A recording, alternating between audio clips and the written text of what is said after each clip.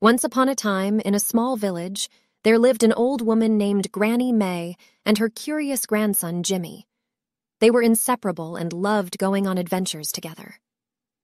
One sunny morning, while walking through the woods, they stumbled upon a hidden treasure a beautiful, shimmering magic urn.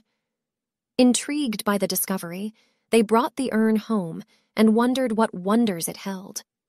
As soon as Jimmy touched it, a cloud of colorful smoke filled the room, and a friendly genie appeared. The genie introduced himself as Sparkle and granted them three wishes. Jimmy's eyes widened with excitement, but Granny May, being wise, reminded him that they must choose wisely. Jimmy's first wish was for a magnificent castle, and in an instant, the room transformed into a grand fortress. The second wish was for abundant food, and delicious dishes appeared before them. Before they could make the third wish, Granny May had an idea. She asked Sparkle to make them both young again, so they could have more adventures together.